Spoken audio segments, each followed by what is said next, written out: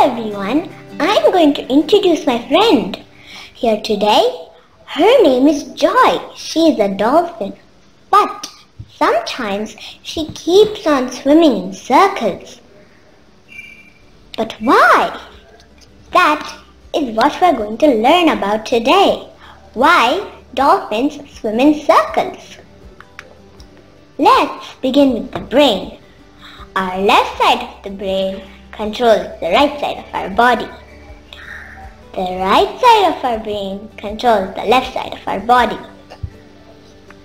Row, row, row your boat. What happens when you row one side of the boat with a paddle?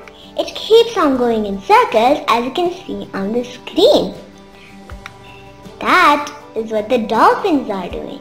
They're using only one flipper that is why they're going in circles. But why?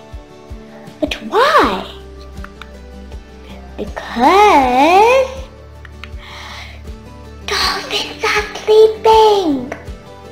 One half of the brain rests while the other half stays alert. The alert half of the brain moves one flipper. That is why it keeps on swimming in circles. Called unihemispheric sleep. I hope you learned something from the video today and thank you.